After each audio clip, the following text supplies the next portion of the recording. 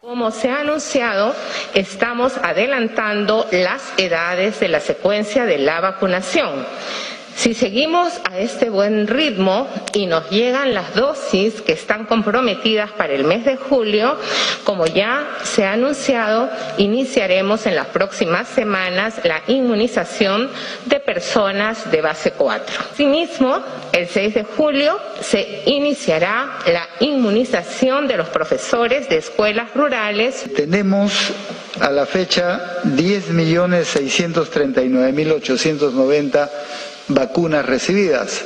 El día de mañana, jueves, estamos recibiendo otra, otro lote, en este caso no es de la donación, sino de la compra a Pfizer, y hasta finales de julio, con eh, siguientes lotes que nos van a llegar, tanto de Pfizer como de AstraZeneca este, y de Sinopharm, 19.136.100.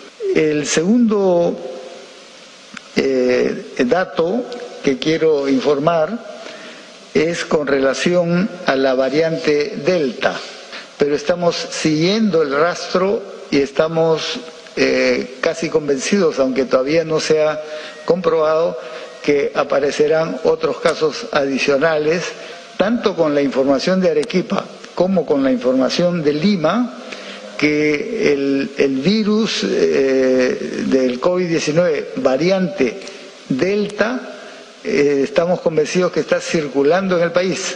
Eso es lo que nos lleva, además con la evaluación de una posible tercera ola más adelante, a reafirmar las medidas. No bajamos la guardia, aunque estamos en un descenso eh, notorio de la segunda ola. En el caso de Arequipa, el seguimiento que hemos venido haciendo constata que no se ha reducido la curva de nuevos casos y fallecidos. La provincia de Arequipa, que es la más importante en cuanto a cantidad de población, la situación eh, es a la inversa, es decir, sigue creciendo el número de casos y sigue creciendo el número de fallecidos.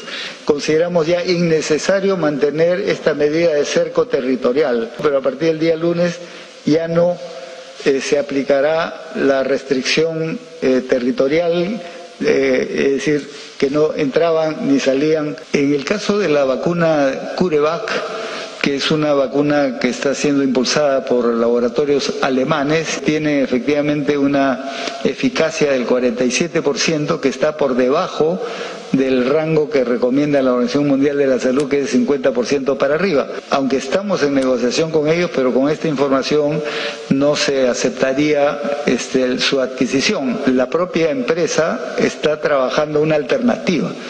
Es decir, están retrabajando sus propias experiencias para poder ofrecer en el mercado algo que cumpla con los estándares internacionales.